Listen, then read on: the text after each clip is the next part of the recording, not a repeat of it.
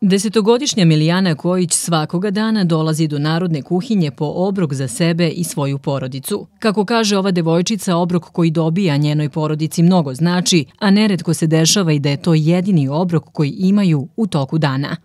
Svaki dan dolazim po obrok da uzimam za sebe i svoju porodicu. Koliko vas ima u porodici? Šestora. Mama, tata, čiča, ja i moj brat i sestra. Ponekad mi dođe mama, ponekad brat, a uglavnom ja dolazim.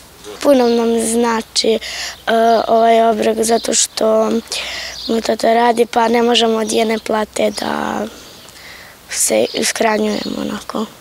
-hmm. Ti se dopada kakva je ovde hrana koju vam spremaju? Da. Šta ti se najviše sviđa? Pa nešto mi se sviđa tortica kada dobijamo. Osim ove devojčice, obrok u narodnoj kuhinji svakodnevno dobije oko 370 najsiromašnijih sugrađana. Za većinu korisnika ovo je jedini obrok u toku dana i korisnici koji dolaze za ove obroke su e, korisnici Centra za socijalni rad. Među njima ima puno i dece, starih.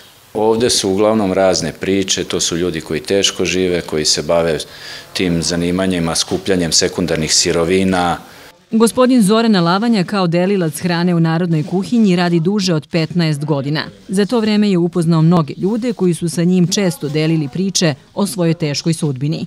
Ovaj posao za mene, pošto ga radim već dugo, za sad je postao rutina, ali nije bio rutina u početku, jednostavno slušate sve te priče, slušate razgovore njihove, slušate njihove probleme, nije lako.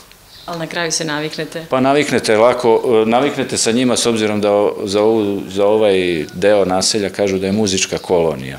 Tako da je sve u znaku muzike.